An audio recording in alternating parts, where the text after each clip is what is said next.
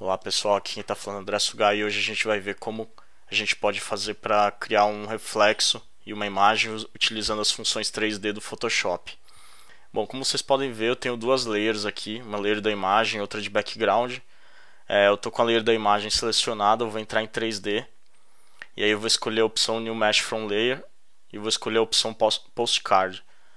Aí o Photoshop vai transformar essa layer em um objeto 3D é, vou mudar a posição dele aqui.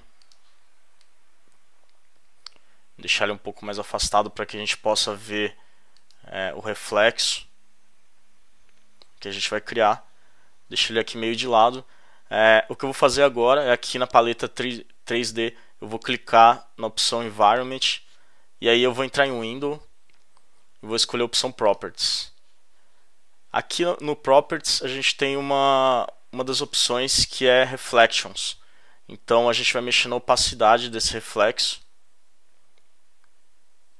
E aí vocês já podem ver que aqui na parte de baixo já surge o reflexo automaticamente. A gente não precisa duplicar layer nem, nem inverter nada.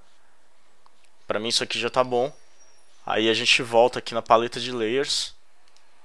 Eu clico aqui na layer background. Se eu quiser eu posso mudar de cor aqui background, deixar em branco.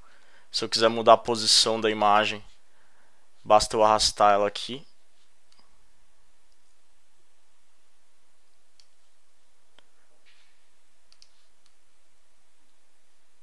Deixar ela um pouquinho mais para baixo.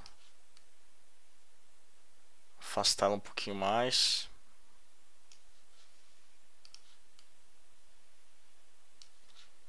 E a gente volta a paleta de layers de novo.